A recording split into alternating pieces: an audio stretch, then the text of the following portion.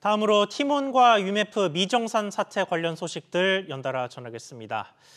이번 사태를 계기로 정부가 이커머스 정산 주기를 40일 전후로 제한하는 방안을 추진하기로 했습니다.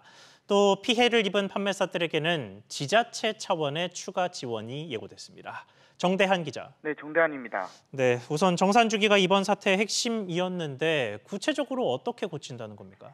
네, 현재 이커머스 업종에 대해선 정산 주기가 정해져 있지 않습니다. 반면 롯데와 신세계 등 오프라인을 중심으로 한 대규모 유통 사업자의 경우 정산 기한이 40일에서 60일로 정해져 있는데요. 정부가 이보다 짧은 정산기한을 이커머스에 적용하겠다고 밝혔습니다. 정확한 기한은 의견 수렴을 통해 결정할 방침인데 40일 전후가 예상되고 이를 어기면 시정명령과 과징금도 부과하기로 했습니다. 현재 이커머스 업체들은 정상 기한이 짧게는 2일에서 길게는 70일까지 제각각인 상황입니다. 네, 다만 이게 지금 정산 주기 하나만 고친다고 해결된 문제가 아닌데 이외에 추가 대책들도 전해주시죠.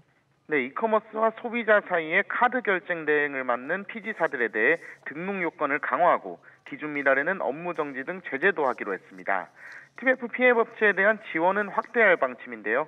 앞서 5,600억 규모의 대출 지원에 더해 지자체 재원을 활용해 약 6천억 원의 자체 긴급 경영 안정 자금도 지원합니다.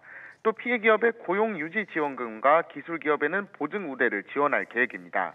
SBS 비즈 종대한입니다.